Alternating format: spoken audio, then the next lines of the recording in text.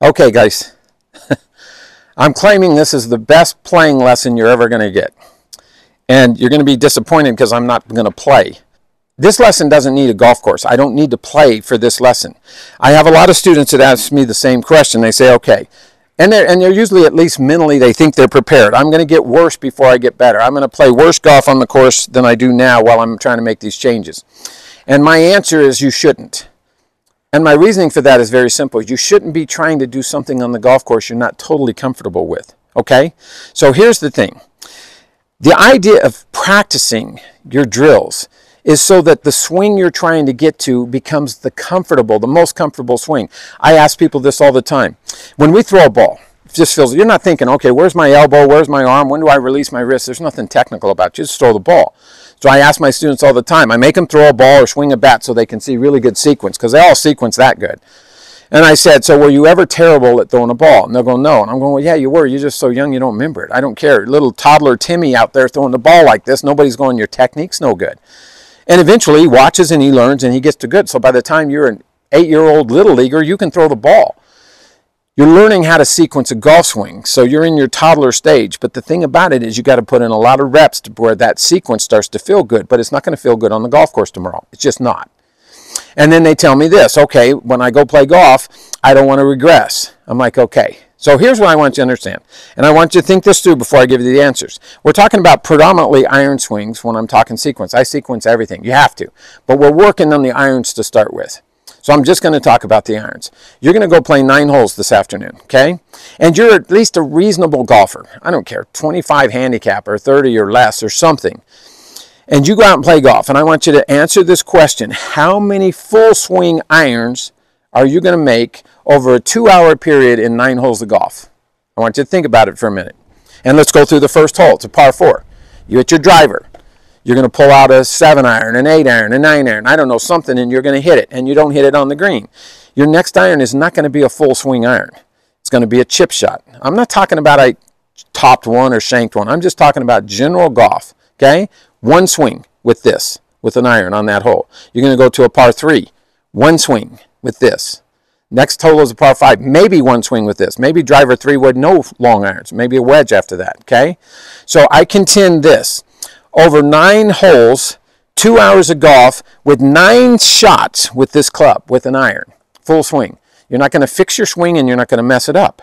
So I tell my students, if you're on the golf course and you ever start thinking, okay, Kevin said do this, I, am okay with even the takeaway move. That's a backswing this far. If you notice Justin Thomas, he actually watches his club do this about every iron swing. He'll put it right there, look at it, and then he'll go through the swing it. But that ends, that thought ends right here. But if you've got a downswing thought that you're trying to figure out on the downswing and you're on the golf course, you're in big trouble because now the golf game is technical and it shouldn't be technical. When you're playing golf, all you should be trying to do is feel the game. Swing your most comfortable swing, whatever it is, and take that swing to the golf course. And the only two things I tell my students to do when they're playing golf is think about the tempo of the golf swing and balance the finish. 100% balance the finish regardless of what you're doing. So I would take that golf swing and I would tell them, make a practice swing and try to make your real swing feel as, as close to the practice swing as possible. So on the practice swing, I'm going to focus on tempo, go back, go through and try to hold my finish. And I want to hold that finish. You can spin the club if you've hit it good. You can do whatever you want. But keep the lower body there until the ball hits the ground. That's the only thing I care about.